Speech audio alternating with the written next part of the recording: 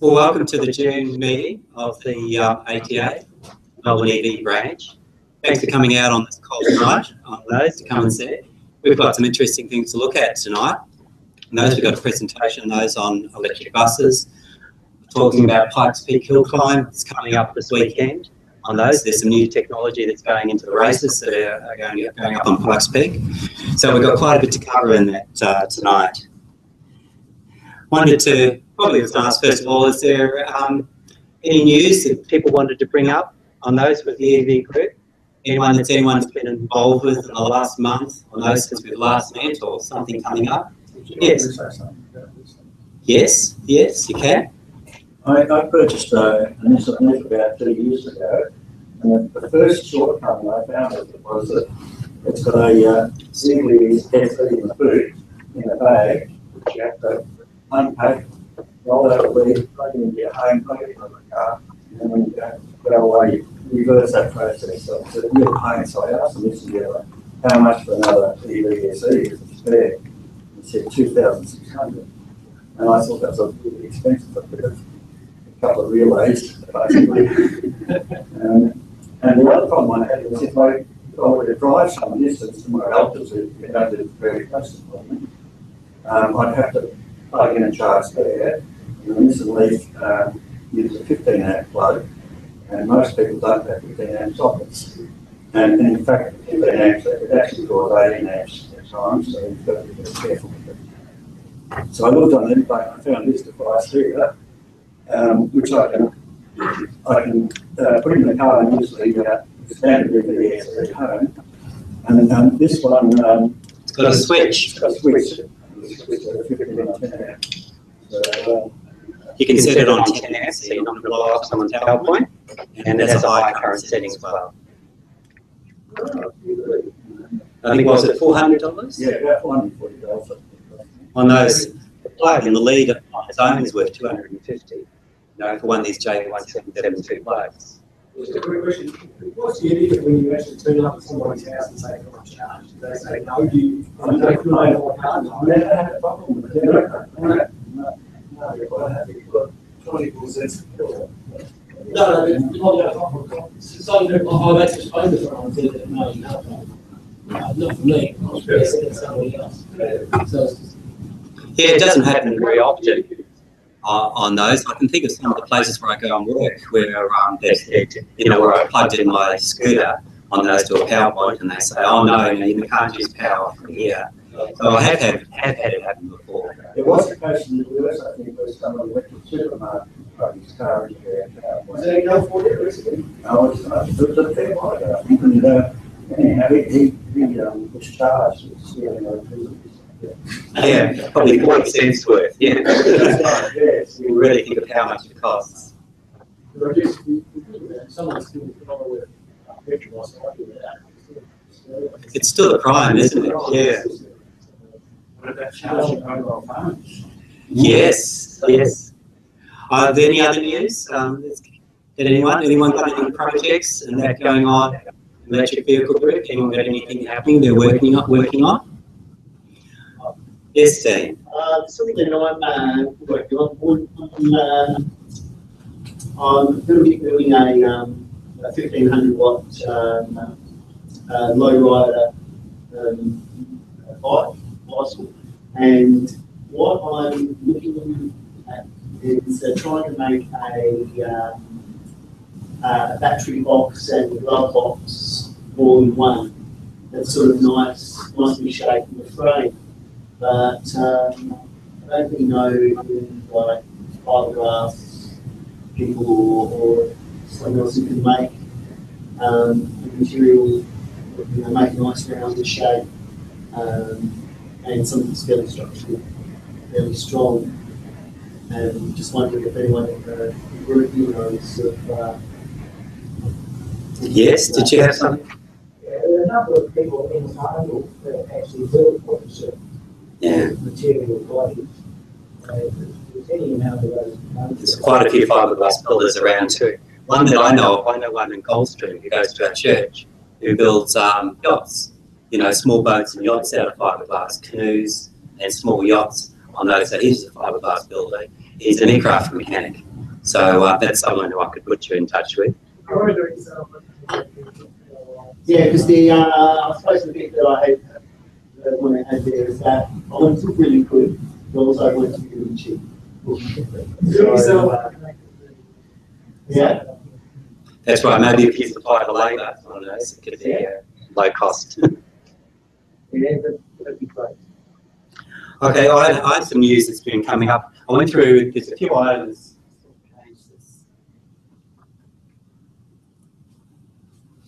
There's some news that's been coming up in the week, in, in the last month that I wanted to bring up. This one here. Okay. I suppose people would have heard about this in the news, and I was quite surprised and shocked when I heard on it too two power stations closing, two coal power stations closing in South Australia, and the, the mine, Leigh Creek coal mine next to it on those. So that's amazing news, isn't it? They were talking about closing it in 15, 20 years. And now, because of, well, for a number of reasons, I suppose South Australia is generating so much renewable energy. On those, they're probably they're leading Australia anyway in the new, new renewable energy production. And these mines are already becoming um, uneconomic to run. So that was a bit of a shock and There's a fix for very that. good news. Fix for that. What's that? Reduce the renewable energy target right now, so. so then we have to go back to the coal again too. On those, well, we're hearing about the um, we're hearing about the wind turbines, aren't we? And our new commissioner is going to be put in there to review every wind turbine installation on those. So they've got a few ideas like that. Uh, next one. Did you hear about this one in the news? Australia's first electric highway is, has been officially opened this week. So this is a project that was going on in Western Australia to create a, um, an electric highway between Perth and Margaret River down in the southwest, or um, there's another, Augusta or something, there's another town down there in the southwest. So, so they want to create, um, it's come out of the um, Perth AEV group, but um, they're putting in level two, level three charging stations there so that people can go down on the beach and have and charge their car and then come back up to Perth. So like a network of an area. It's over 300 kilometres long as it goes down to the uh, southwest coast and out of Perth. So that was an interesting story, and that's come up. It actually came up in the ABC the news that this has now been officially launched. And then another one, I went to the uh, solar home battery storage night that the ATA, that the, the main branch of the ATA ran about two or three weeks ago. And this is the one that caught my attention on those. Um, the hybrid is made by a company called SolarX. What this uh, hybrid inverters enable you to do is to um, store your solar power and use it in the evening. Or you can choose whatever time you want to use the solar energy that you've um, been generating on your roof because the middle of the day is not always when you want to use it. And uh, you also want to be able to use some of that energy in the evening because that's a peak time, dinner time, evening time, and you want to be able to store the energy with it. So the Tesla um, storage battery has been in the news in the past month and a very good idea. It was really only half the story. It was only the battery box and you know how are you going to use it. And there's company, this company is installing these in Australia, SolarX, and it's um it's a dual it's a dual flow inverter. So it's an inverter that can be used to charge a battery system, and they have their own lithium-ion battery system. You can't use anyone else's; you have to use their battery system. And so you can store solar energy in a lithium-ion battery, and then use it at any time um, that you want, probably the evening.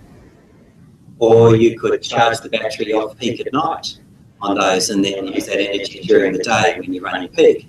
So um, it was quite a versatile system and complete. All the software, um, and everything to make it work was all in one box.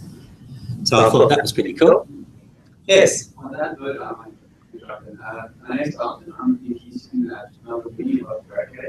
and uh, I run a company called Electrofine. What we do is we develop technology that allows us to use old, old cells that is used, say, municipally, or batteries or something that. That computer cells, that sort of thing. Not relating to solar storage because of heat technology around uh, this kind of way of commercializing.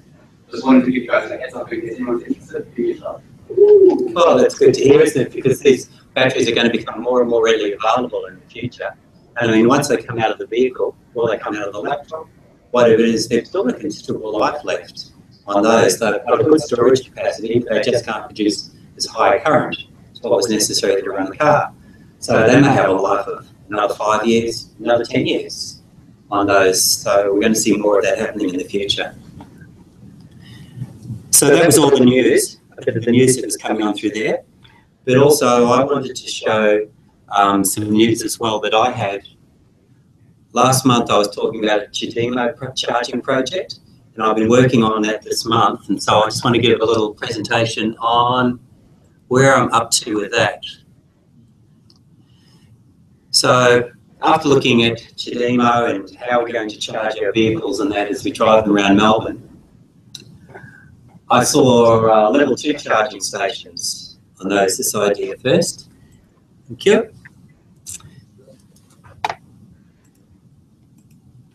Okay. So there's a lot, a lot of level two charging stations around Melbourne as well. On those typical one we see here is a charge point one. So there's a map here around Melbourne, level two charging stations. The level three charging stations are the ones that are in orange, orangey red. We can see up through there, we've got three of those in Melbourne, which are the fast charge stations. But all the other green ones that are on this map are level two. So quite a choice in that to choose from of charging stations that around Melbourne. And uh, some of the cars that we, we have that we've made ourselves, like you know project cars and that, we don't have don't have the socket for level two charging, J1772. So just going through how J1772 works. Um, it's analog wiring, it doesn't use digital on those as used in the CHAdeMO system. There's no CAN bus communication necessary. It does have provision for digital communication between the car and the vehicle, but uh, I don't know anyone that's actually used that protocol, J1772. And J1772 is compatible with any vehicle that has a 240 volt charger. So a lot of the cars that we build, like uh, what Mario and that's built with his um, with his car, you've normally got a 240 volt charger in the back of the car that you then just plug into a power point on those. So the charge is built into the car. Well, that same sort of charger can be used with J1772. So the technology over here, you've got these two pins here are the main power leads, active and neutral. Pin three is a ground. And then there are two pins, here that are proximity and enable for the communication pins that are used for the charging system. So with this particular one here, with that simple wiring there, on those you can uh, enable the J1772 system to work. There's only three or four parts in it, very simple and straightforward.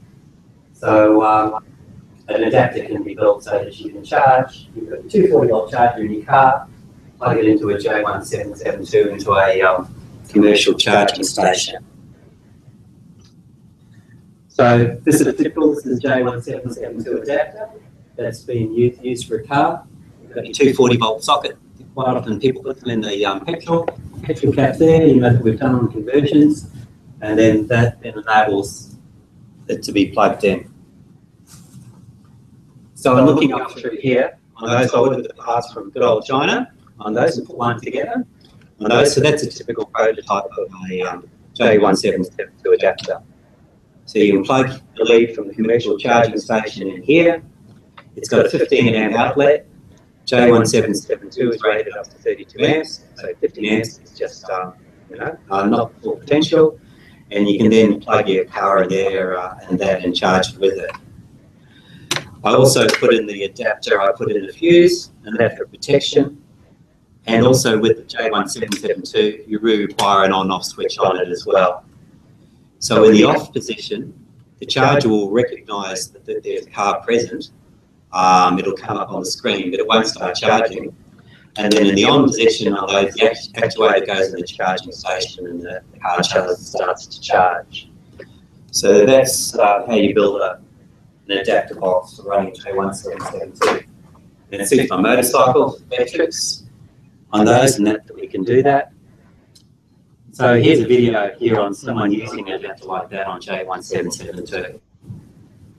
This is your typical G one seven seven two charger. Uh, one thing though, it's free, you don't have to pay, there's no access to it, you just pop it in, you can pull the handle out and charge. So in my case, um, I don't have level two charge on my motorcycle, I've just got this regular level one plug, so I built this box that allows me to adapt from the J one seven seven two to my regular old wall plug. Uh, one caveat to it is that it's still two hundred and forty volts coming out of there. So I have a. Australian system is all 240 volts, it's not 110 in Australia, so That's the main thing is, uh. this is an American one. Now, the other thing though, is my charger is still just a fifteen hundred watt charger. So I'm, um, I'm getting ten amps or, uh, fifteen hundred watts out of it, whether I'm on a hundred. So whatever your charger is, you'll still get the same charging power with the J1772. If you've got a 2000 watt charger in your car, well, it's just 2000 watts. And there aren't just plain old electric outlets that I can plug into. So now I can plug the metrics on those into those. So I thought this was the first stage on those on what we could do. And those enabling us to use commercial charging stations. Now, I've been working a bit, a bit of communication on the CHAdeMO project, and this is some of the, some of the information that I've found. So far, I haven't been able to get communication protocols or the Arduino software necessary to run the project. So I those, they're not really readily, they're not available online, open source at the moment. I know, so I'm still doing a lot of digging, and we may find that. But uh, at the moment, no one's really sharing the information necessary to do that. And another interesting thing that they found out was CHAdeMO charging stations. These are these fast half-hour charging stations. You can charge your car in half an hour. Is that um, they don't like operating on batteries below 230 volts DC. Even though Chi- the CHAdeMO standard works down to 100, 150 volts, um, they've found that some of the commercial CHAdeMO charging stations won't work with a battery voltage below around that sort of level. So like Mario's car, yours 144 volts, yep, on those, um, won't work with some of the, uh, some of the CHAdeMO charging stations. The actual power inverter in the charging station won't convert to that lower voltage. So that was another obstacle uh, that came up and those that we found from other people's testing of commercial CHAdeMO charging stations. So that's where we got up to with that one.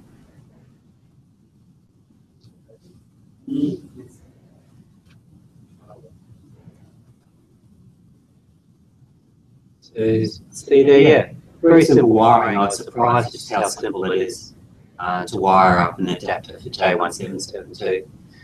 Some of the ones just either actually they don't even have a box, it's just all in the power cord. You know, it's like an adapter with a plug and socket on the end and little wires in the power lead. Very simple and that to do. So that's J1772. So I'm just going. I think we'll close that one.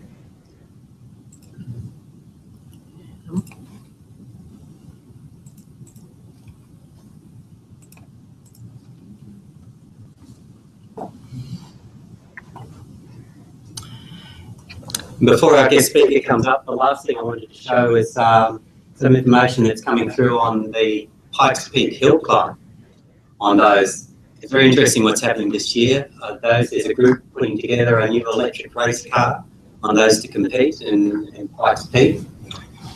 Monster Tajima, a Japanese racing car driver who's competed in Pikes Peak before. He was in it last year. I think he's been, probably been in it several years, maybe even five or ten years.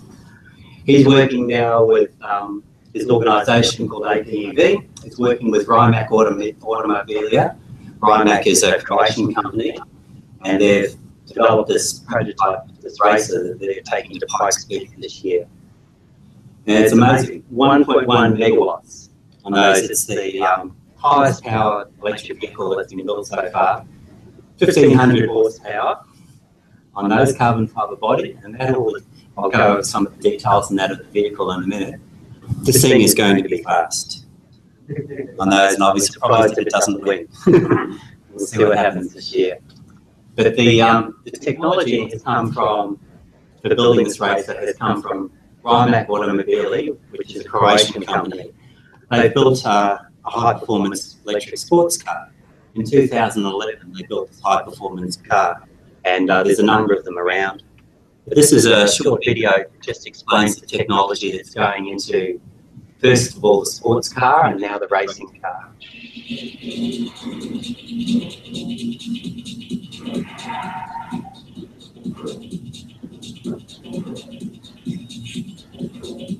Our next tech takes us to the small central European country Croatia. A new supercar is capturing attention and turning heads around the world. With its sleek styling and cutting-edge technology, the Rimac Concept One is a bold statement about the future of both electric cars and the people who make them. Rimac Automobili is based near Zagreb.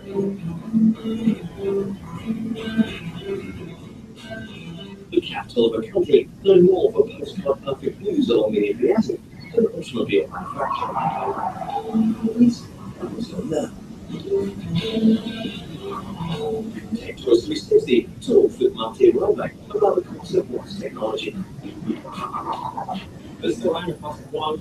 It's the first electric supercar. We have developed it to be the best supercar, not just a supercar with an electric motor. Creating a new electric supercar comes with many challenges. The company is based in Croatia. It's not really a country which is famous for a car industry. So we really to build all the know-how and the knowledge from growing up. We couldn't hire people from the car industry, uh, so we had to re-engineer everything. The lightweight carbon fiber body develops an innovative powertrain created specifically for the Concept One. This is no adaptation. It is precisely engineered propulsion system designed to provide the speed and range of a traditional combustion engine. This is where Rimac is blazing trails. How? The Concept One uses not one rotor, but four. One for each wheel. Now that's power. So charge it and go. The special thing about the car is that have all the all the permanent magnet molecule, so we can control each wheel separately with the corner. So within a corner, we can control each wheel 1,000 times per second in both directions, either accelerating or braking. Four motors with inverters and reduction gearboxes for each wheel should have enough energy to thrust this body car at speeds approaching 190 miles per hour.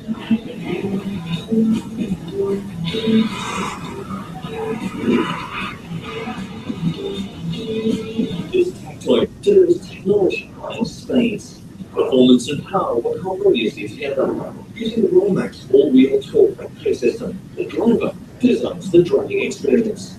The most special about cars is torque. The driver can decide between an uh, oversteer setup, understeer, or a neutral setup of the car. That means you have one cars in one. If you are a more confident driver who knows how to drive, you can choose the oversteer setup and slide through the corners. The car will help you to do so. But if you are a little bit afraid of the high power of the car and want to drive safely, you can choose an understeer setup, and the car will make very safe and anyone can drive. An onboard touchscreen interface provides a range of options for taking advantage of the Concept One's muscle. With total output of 1,088 horsepower and 2,800 foot-pounds of torque, the Concept One is one serious contender. It's a beast of an automobile generating serious power. The acceleration of the car is uh, 2.8 seconds from uh, 0 to 60 miles an hour. Uh, we have limited the top speed to 305 kilometers an hour because of the power consumption, but it could be much faster. Than it could be with unleashing. A lithium phosphate battery pack comprised of 1400 cells powers the Concept One and produces an amazing 92 kilowatt hours of electricity. That gives the 3,600 pound Concept One range of over 370 miles. The its by a mile, many miles. I started to design the technology behind car in my garage. Uh, I wanted to make an electric race car, That's how it started. So the idea for the beginning was to make a powertrain system which can beat any combustion charging capabilities, this machine is back on the road in less than an hour after logging. The cabin tailors itself perfectly around driver, while the high-end infotainment system entertains and informs the driver of the vehicle systems. The tail lights have a deep 3D towel effect and animated indicators for more appeal. Rimac's groundbreaking four-motor technology catapults automotive technology to the next stratosphere. One can take its title Well, eighty thousand dollars. But who's counting pennies?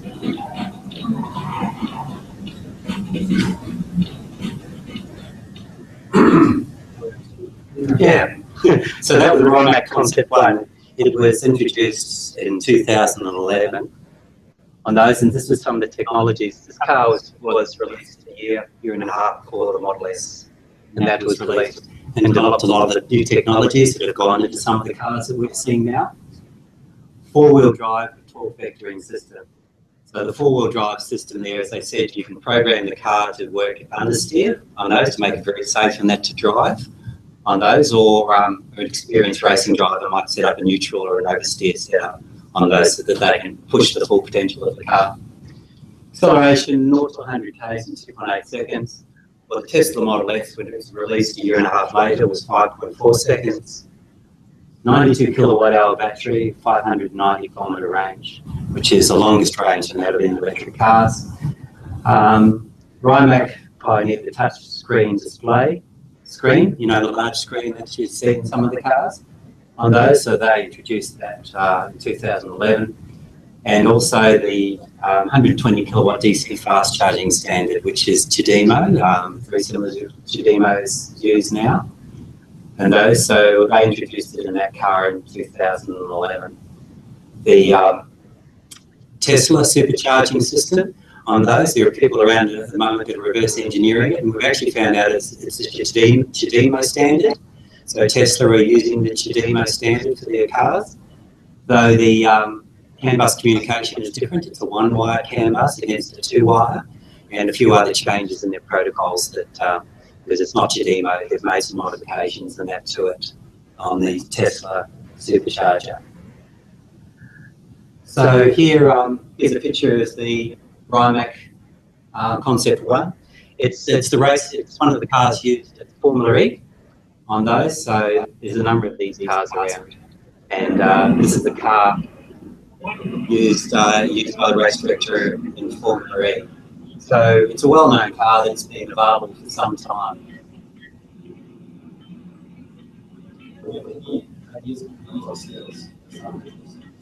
No, I don't know how many of them they've sold.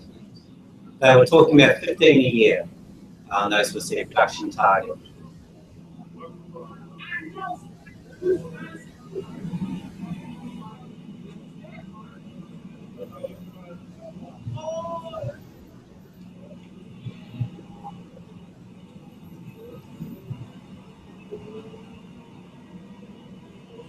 So this video is Long Beach Formula E, um, Formula E race day.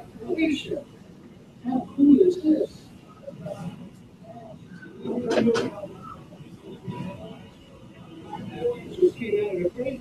saw need some, uh, some, uh, clippers. Really.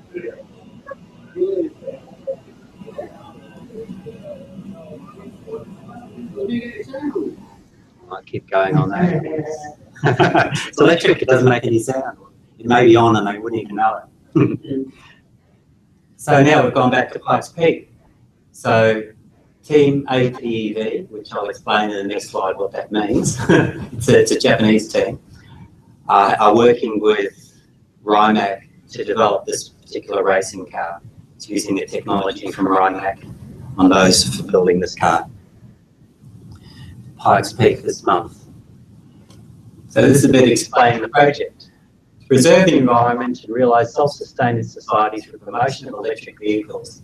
Chairman, whoever he is, of the Association Promotion of Electric Vehicles, APEV. forms the Pike Peak Challenge Committee, moving forward with the fourth year challenge, Team APV with Monster Sport at Pike Peaks International Climb, Colorado, US, 2015. So it looks like they started in 2012. That was when uh, Monster Tajima and his team started racing there. So guys, the goal is now to achieve the first overall victory with an electric vehicle at the 2016. I don't know why they can't do it this year. Maybe not, um, the car's only been finished for a month. Maybe they're not confident. We begin our next phase this year by pitching in a new electric vehicle, exploring its possibility. So that's Team APV, uh, a Japanese motorsports team. The specifications of the new race car. Slightly increased power over the concept one.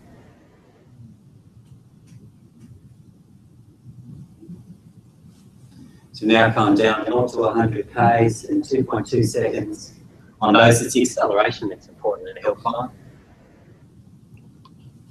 You're going to be racing this car.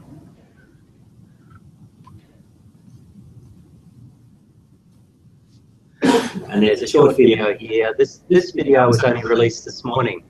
When I went into their website on those to start preparing, finishing off this this uh, presentation, this video was released this morning. It's a good one and it explains what they plan to do at Pikes Peak.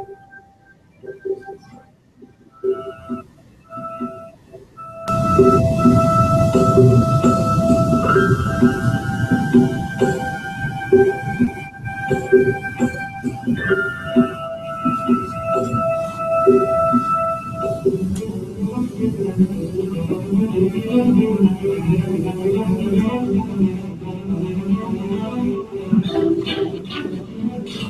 difficult international medical work. So, law functions every time you have, because this is a public law, not a restaurant. So, I would make a good develop technology and excellence for law structure. So, this is my development. Uh, aim. so I would utilize and I use the good experience, good technology, and testing. So every year I have a new technology, every year I have a new experience. So I'm very happy because I know the Karina Bottom the technology in this company is a quite young company. But in their capacity and their spirit and their value, they have exactly my line and my spirit. So now I'm very happy because this is a hundred percent best customer in the world.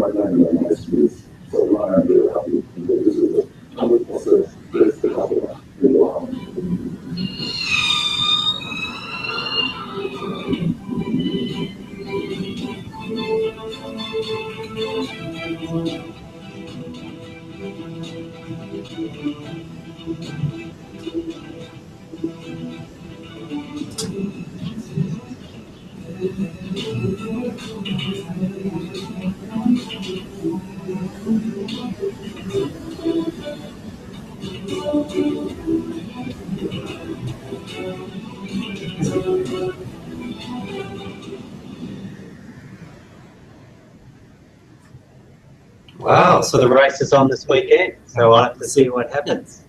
On those two years ago, uh, Lightning Motorcycles won the motorcycle division on those at the Pikes Peak race by 20 seconds. So we've got a lead there on the motorcycles, and uh, let's see what happens. Maybe we'll get a car this year. So that was all I wanted to present tonight. We've got Jason Miller now from uh, from Swinburne.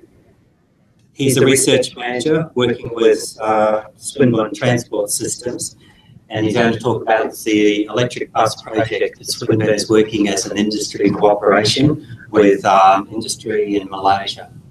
So I'll leave it to Jason.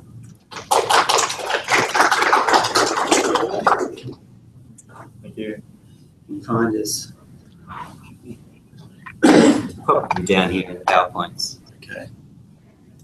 Down here. No, there, PowerPoint. Okay. There it is.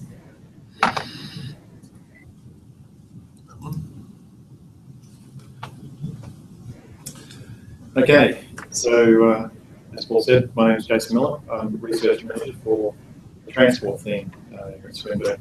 So I'm a part of the EV group and uh, uh, also part of the uh, Centre for Sustainable Infrastructures.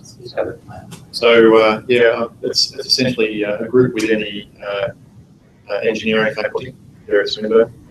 Um, so I want to tonight just give you a bit of an overview of what we're doing in the eBus project. Uh, this is a project that is being run in collaboration with the Auto CRC. Some of you may have heard of the Auto CRC. Uh, it's a government-funded um, uh, cooperative research centre, uh, which is focused on automotive technologies. Uh, I've had a, a long association with the Auto CRC, a previous uh, employer with uh, Futuris Automotive. Uh, it was my main role to, to look after projects with the Auto CRC. So Swinburne, through the Auto CRC, has teamed up with a company called Bustech, uh, some of you may have heard of, in uh, Queensland. They're based in the Gold Coast, and they're one of the last remaining uh, bus manufacturers in Australia. A lot of the bus manufacturers um, put together, I guess, what call knockdown kits, um, but Bustech actually fabricate their bus from the ground up. So they do a complete uh, space frame chassis, integrated chassis, and they currently use Cummins motors, uh, diesel motors in their buses. Um, a little bit of background about Bustech. The reason why they started building their own buses is because as their operations expanded, they uh, inherited uh, buses from other companies, and they found that uh, a lot of them didn't survive the uh, uh, problems with rust uh, operating all the way up the east coast because of the sea spray. So they tried uh, building their own bus frames using stainless steel framework, and they found that was quite successful.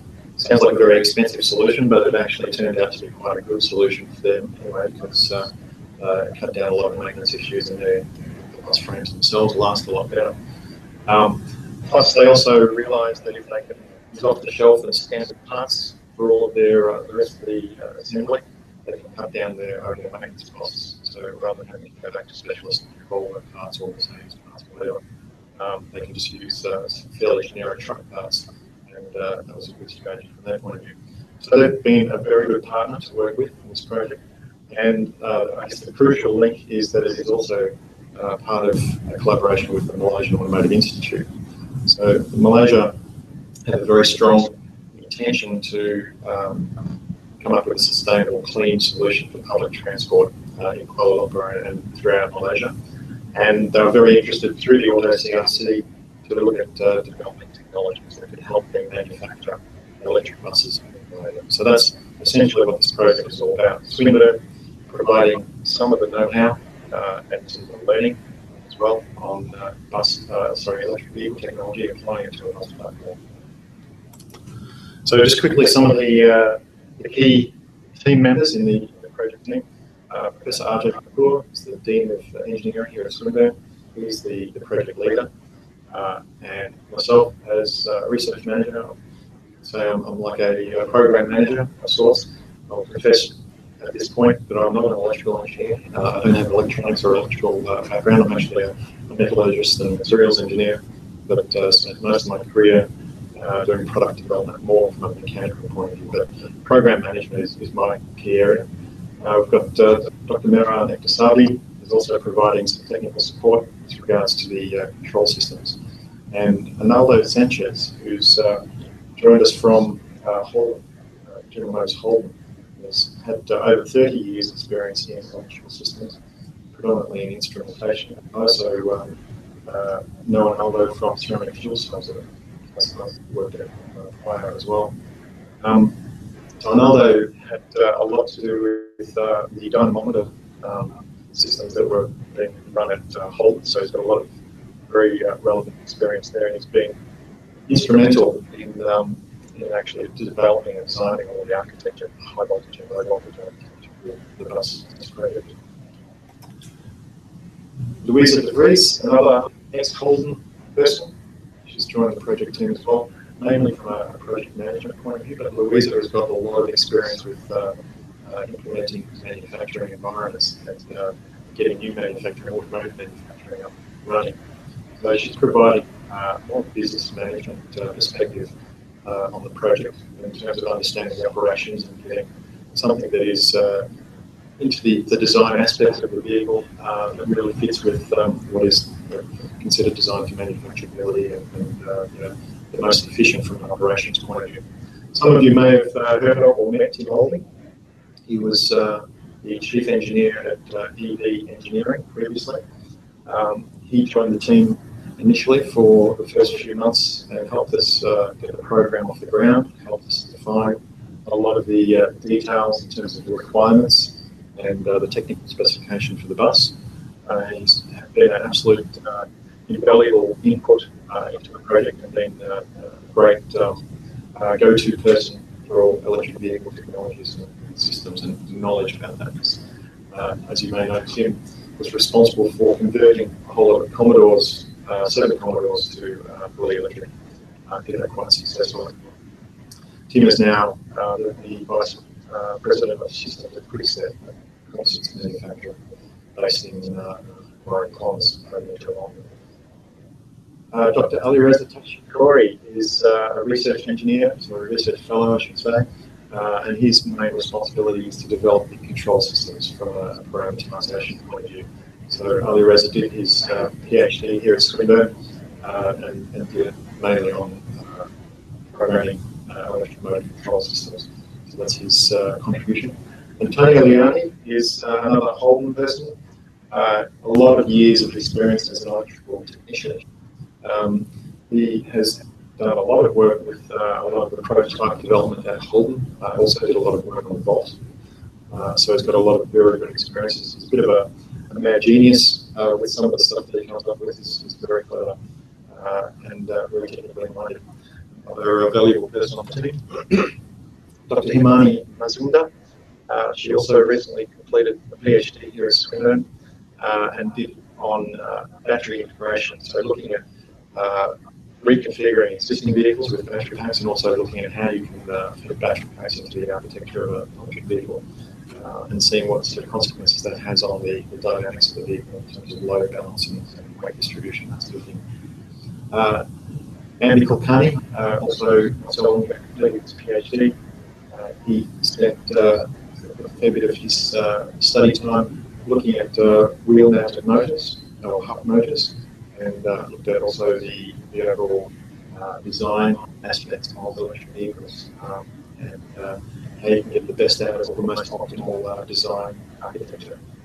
And uh, Dr. Weixiang Shen is a senior lecturer here at Swinburne. He's also an expert in battery systems and has done a lot of research in uh, getting real-time state of charge information on battery systems. So he's had a lot of very good uh, input into the project as well in terms of uh, giving us some consulting support on uh, battery management systems.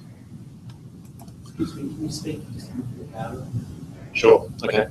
Um, Andrew Miller uh, has joined us also from Ford Motor Company. He's also spent a bit of time at um, uh, KLK Motorsport in Germany and has uh, got a lot of expertise in um, finite element analysis and, uh, and CAD design work. Um, and he's also very good, uh, or essentially he's been providing the main input into the packaging of the electrical uh, driveline systems of the bus.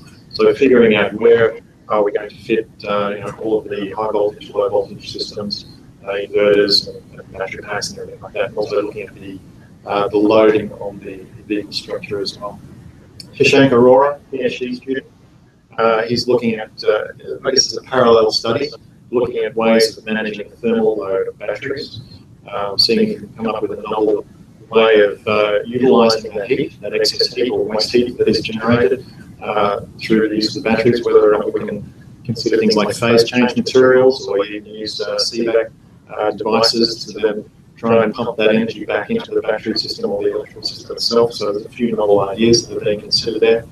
Um, Joe Hughes, another PhD student, is looking at human-centered design aspects. So more of the interior systems of the bus. So we're looking at overall bus architecture. Uh, is there uh, some special consideration that we should put into, uh, you know, the uh, the console in terms of the information that the driver has? Uh, is there an opportunity to redesign the actual layout the bus and uh, you know, with different architecture that the electric vehicle uh, platform provides? And Adnan Zaman is uh, a research assistant. He's also uh, an industry-based learning student. So he's currently doing his uh, undergraduate degree in electrical and electronics engineering, and uh, he's providing some support as well uh, in the. So that's uh, a bit of an overview of the project team. Now, the stuff that you're probably more interested in is uh, how is this project actually coming together? Essentially, it is broken up into three major phases, and it is over the course of three years. Um, so we have right off the, the bat, uh, there's a, there is uh, an ongoing body of work which is about building bus. So we figured, what better way to really get into a project like this than to grab a platform and then figure out what it really takes to uh, turn it into an electric bus. So it's a learning experience for everyone on project team as well as BusTech. Um, we don't all claim necessarily to be experts, experts in electric vehicles, but uh, we have various levels of expertise in specific technologies. So we're trying to bring all that together and understand specifically what it takes to take off-the-shelf technology, established technology, and repackage it in the. So it is the, the, the most critical challenge that we're facing is how do you integrate all of these technologies and make them work and make them uh, work reliably. The second phase of work is the system design and development. So that's looking at how to optimize the, uh, the vehicle systems. And once we've done the integration work and got the, the bus running sort of relatively to our satisfaction, then what can we do to improve on it? And the real key there is to identify where the gaps are or where the weaknesses are in that existing technology. So is there an opportunity then to come up with a new technology uh, that will improve upon what we, we already know what the baseline is? Uh, and it may also uh, offer up some opportunities for the university here to then start developing something that is you know, uh, really leading edge or blue sky technologies as well, uh, whether it be within the electrical you know, distribution system, the control system, the motor technology, the battery systems, you know, any of the technologies that are associated with the bus, even the material side of things, like lightweighting of the uh, vehicle architecture structures themselves. And then the, the third stream of activity is uh, all about the business case. So understanding uh, how does running an electric bus differ from running a diesel or conventional bus in terms of the operations? What are some of the key advantages that an electric system offers in terms of uh, how do you do you need to reconfigure uh, for a city bus, for instance, one that's you know, traveling around suburbs? Do you need to reconfigure the routes, uh, the length of the routes, or how you uh, plan those routes and how you plan the stops? Uh, and, and rather than doing a, a, long continuous route, you might break that into two and have to stop the depot halfway through the uh, shift so you can do a swap and go for batteries. You know, those sort of scenarios is what that uh, third phase is really looking at. So is, there, is there an optimum configuration from the business operations point of view? Interestingly, that is also looking at, uh, I guess, the fundamental part of it is the charging strategy.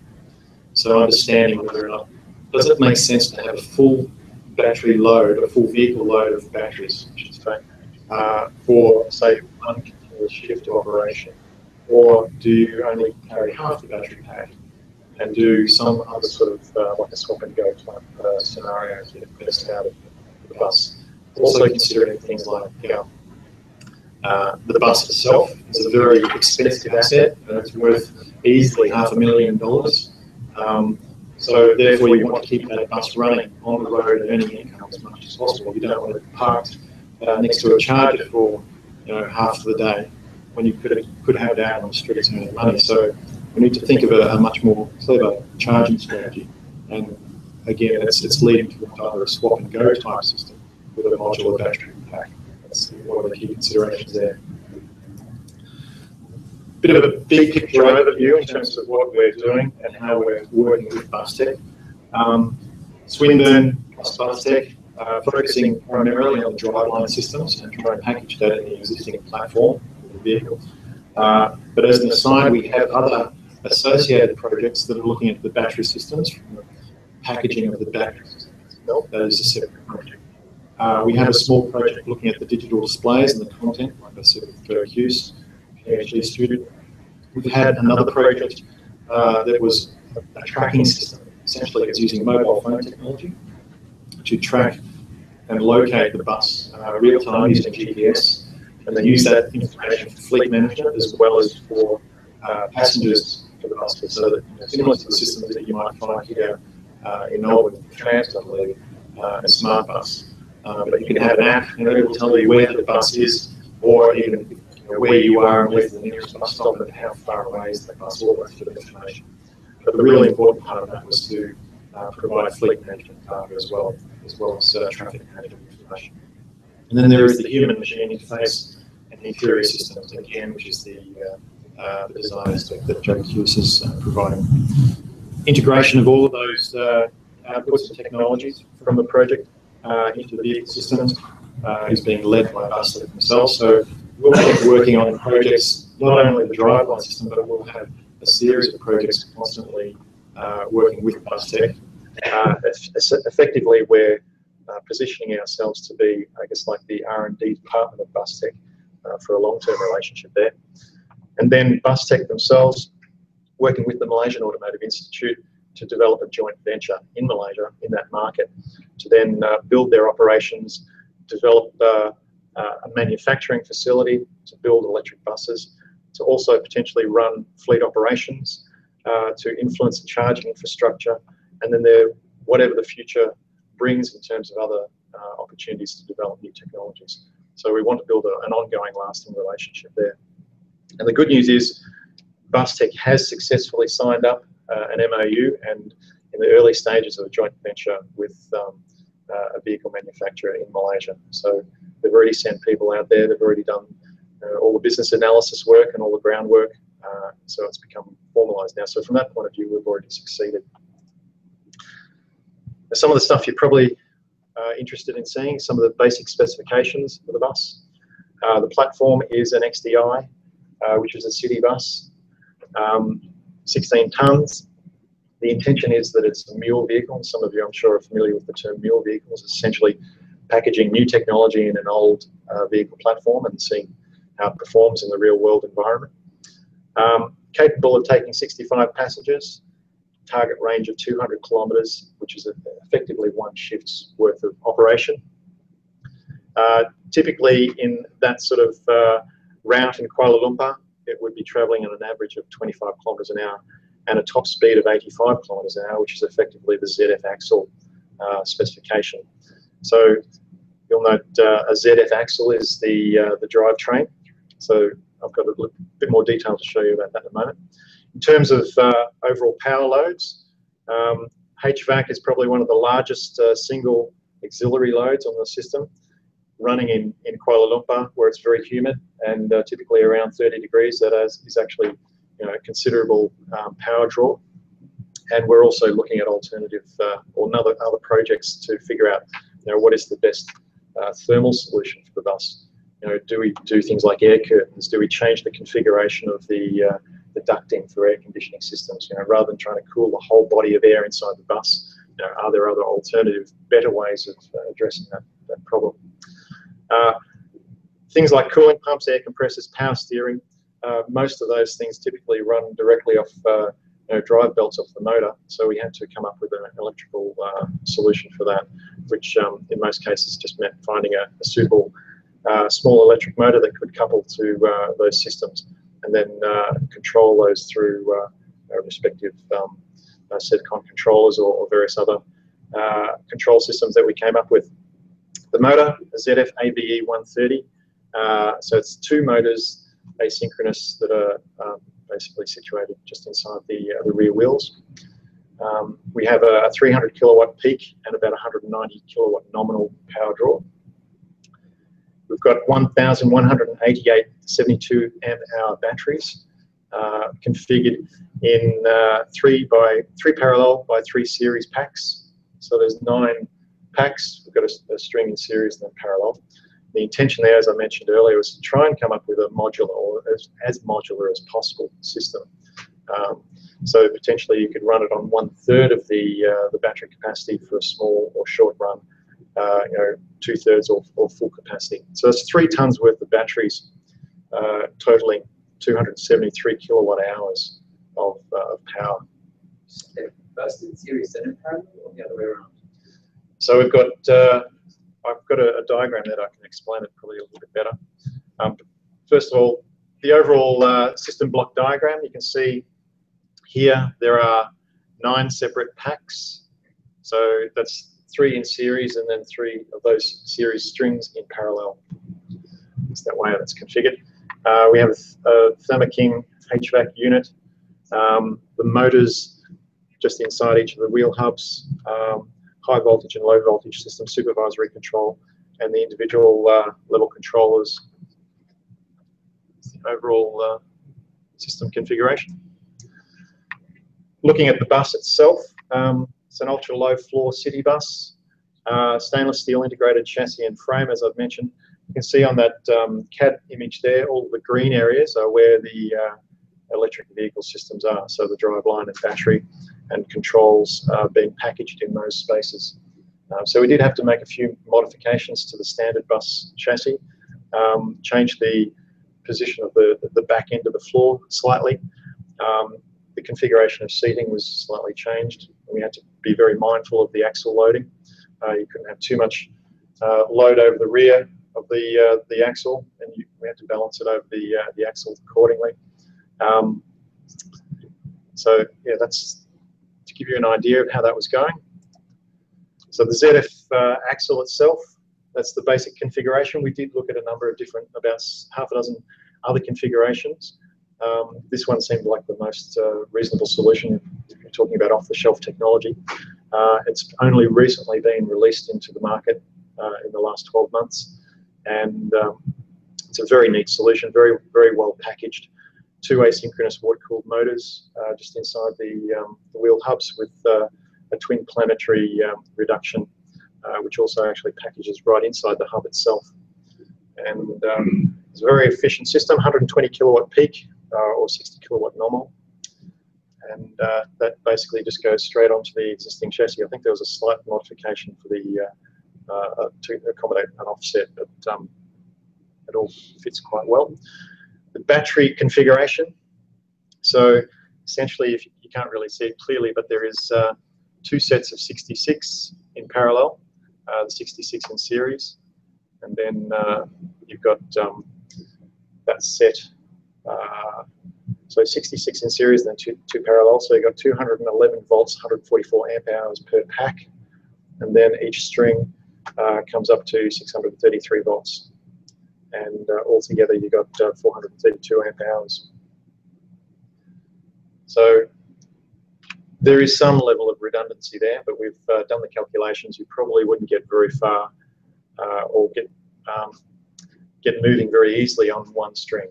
So from a modular perspective, it's not that easy. Uh, that's something that we've learned the hard way.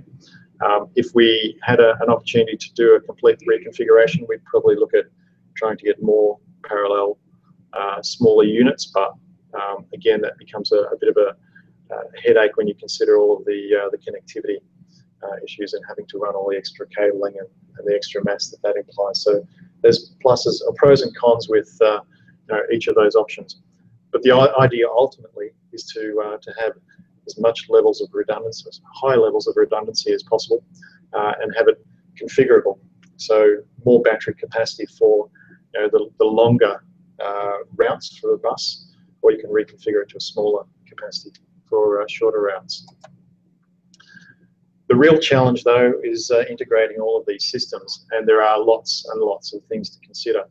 Um, so we've got three parallel charges that hasn't been fully confirmed yet, but it looks like we'll be using three parallel charge systems. Um, selecting the right interface and the, and the design of the wiring to get the most efficient connectivity between uh, all of those systems. Uh, having the uh, fully integrated pumps for hydraulic steering, uh, cooling, and also integrating the motor drive for the air compressor, making sure all of those systems run absolutely reliably because they are very safety critical, being brakes and steering.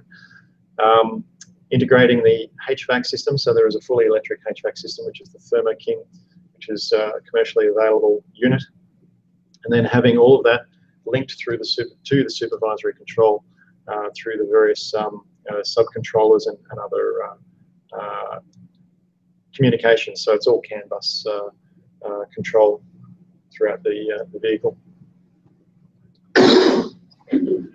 then the actual control strategy itself, there's a lot of work yet to be done there in terms of the parameterization, uh, going through the startup sequence, um, getting useful and real time uh, state of charge information, particularly if you have different states of charge within the different packs. Uh, having the power curve mapped appropriately so that you can you know, dampen out any uh, sort of jerkiness in terms of the way the drivers uh, may tend to drive, or you can customize that to, to get a more comfortable experience for the passengers uh, primarily. Trying to integrate uh, regen uh, and making sure that if you do have a full charge in the battery pack, what do you do with the excess power? There's a whole lot of questions and considerations that need to be taken into account there.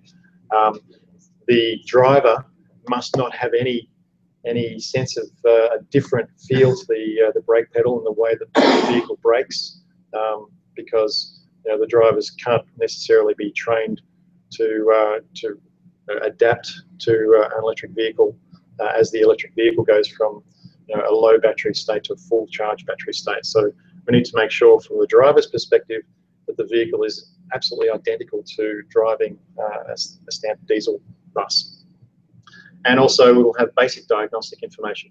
But the main point is the, the interface uh, for the driver would be as simple and basic as possible. Uh, there may be a lot more information in the background, which would be then uh, sent directly to the, uh, the depot or the maintenance or operations group. In terms of uh, developing the technology further, uh, we tend to put together a whole lot of simulation packages. We've done some basic simulation at this stage already to come up with the architecture and the configuration that we have. But uh, as I mentioned earlier, once we get more field experience with how this bus runs uh, you know, in the environment, we can see where the weaknesses are. Uh, we can see opportunities to then improve upon it or even come up with new technologies that uh, can potentially leapfrog or become uh, you know, something that is unique in the market. That's the sort of stuff that we're really striving for. And the other important factor is the overall infrastructure. Some of you may have read um, there is a lot of money that the Malaysian government is throwing into this whole program, uh, hundreds of millions of dollars, uh, and that includes buses and infrastructure. So one of the important points um, of the overall strategy for this project is part of the, the modularization idea, is to be able to accommodate a range of full battery electric configurations or part thereof through to an opportunistic charging strategy. So sometime in the not too distant future, and I'm sure you've, you've heard of many other operators around the world, like there's some in Korea and Europe that are fully optim, optima, uh, opportunistic charging. So they may have 30 or 50 kilowatt hours of uh, battery capacity on the bus, but they'll pull into a, a stop and within something like uh, 10 or 15 seconds, they'll dump 80 kilowatts of power into that battery pack know, just like that. And that, that'll allow them to then take off and, and travel another, uh, you know, 10 to, to 30 kilometres on that uh, limited capacity. But they've got that infrastructure set up so that they can do that efficiently.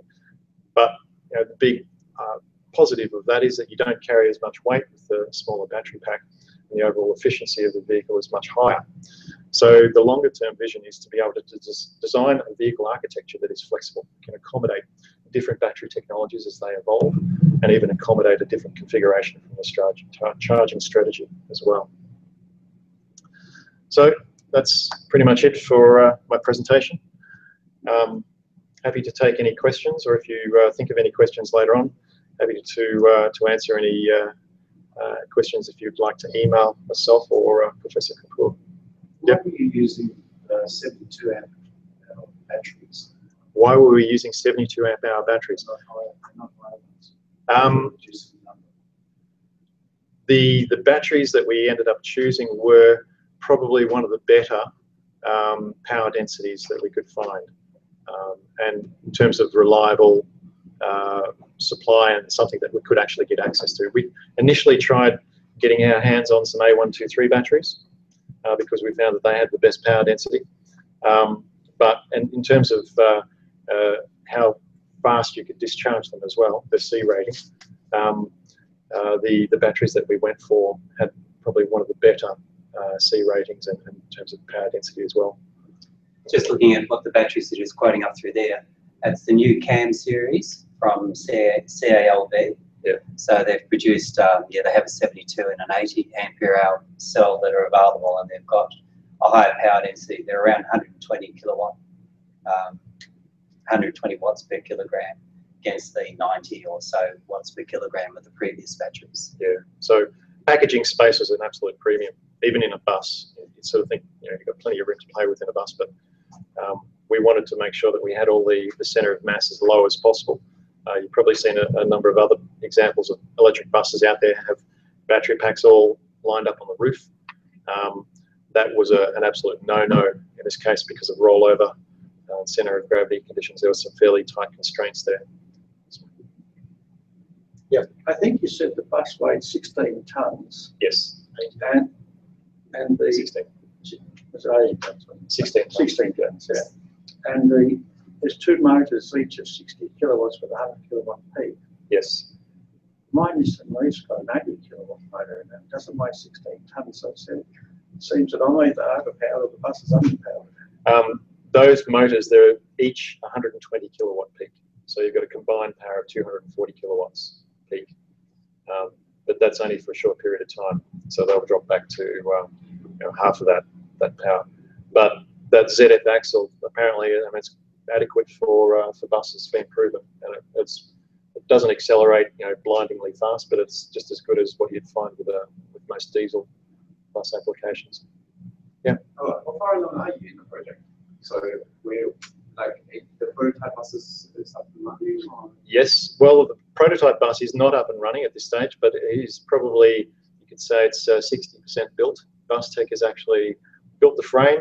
We've got all of the packaging space allocated, the ZF axles in place. Uh, we've even got the interior and the panel and the glass and, and, and the console and the driver's uh, uh, areas all, all done, all the floors all done. Um, what's left to be done is all of the battery pack um, and all of the high voltage and low voltage wiring. And then there is a bit of work to be done on the um, uh, the cooling circuit. Um, and I think the, uh, the the hydraulics in the steering system also need to be configured as well. So there's there's a fair bit of mechanical work to be done, but it's, it's could probably safely say it's around about 60% at this stage. Um, what has happened in the project though, we've uh, been doing uh, as much as we possibly can to help BusTech, and they've had a, a like an interim project, if you like, uh, something that they're working on with uh, CSIRO to develop a concept bus for an expo coming up next month. Uh, it's called Bus Vic, and it is uh, I think it's a, an industry-specific uh, expo at Jeff's Shed, um, and they're going to showcase uh, an electric bus concept. Um, so that's a bus that they've thrown together uh, in a fairly short space of time. Uh, and it's been, you know, quite a, an interesting development. We've used a lot of the uh, the design architecture and information that we've been working on for this bus to assist BusTech with that, and they've also had support from CSIRO to develop that. So that's going to be um, something that they'll be revealing at this uh, this expo, and then once that is complete, we'll then go back to uh, continuing the development that we've got going with uh, with the bus that we've been working on. Yes. You mentioned um, the future plans for rapid charging on fif- 15 seconds or something. How would that be done? Is that uh, cable or a induction type? There's a number of systems out there. Um, some of the flash charging systems, like ABB, have in uh, Europe. They actually have a, um, a unit that comes down and couples with a, a mating unit at the top of the bus. Um, so it's got a, an automatic guidance system that sort of locates, self-locates, and once it couples, then it uh, locks in and then dumps in the uh, the power. There are induction systems. I think there's a Korean uh, a company that has got an induction system and they can actually drive around uh, certain parts of their, their city route. And as they go slowly over a certain section, it actually charges whilst they're motion, in motion. Uh, so there's those sort of systems that are being developed as well.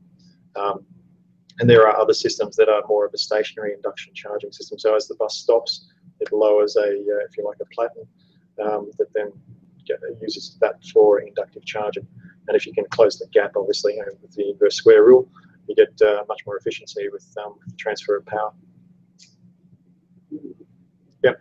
Uh, uh, how, how do you see the uh, passenger experience being different in the, in the electric buses? I mean, would it be like uh, USB charging ports and uh, other bits of electric uh, Yeah, all, all, all of those little um, uh, you know, additional features and experiences are certainly things that are being considered. So having Wi-Fi available on the bus, um, potentially having uh, USB ports, all of those sort of things are being certainly being considered. Um, and uh, changing the uh, the ergonomics, changing the configuration of seating, having a new concept for seating that you could reconfigure. Um, so you know during the the low periods you can have more seats or sitting uh, area. During the peak periods, you can fold all the seats away and you can have more standing room. You know, all of those sort of things are being considered. Um, and also, you know, like I said, looking at ways of getting mass out of the, the, the vehicle as well. So using more carbon composites or different composite materials, um, you know, different you know, um, metals, lightweight alloys and things like that as well. We're trying to do that you know, as low cost as possible. So, yeah. Any other questions? Sorry, I'm Yep. just, ZF, what is ZF? ZF um, is a German company, and they do uh, have for many years they've done transmissions, um, motor technology, steering systems, suspension systems uh, for truck and, and uh, general automotive. So yeah. Okay. Well, thanks for your time.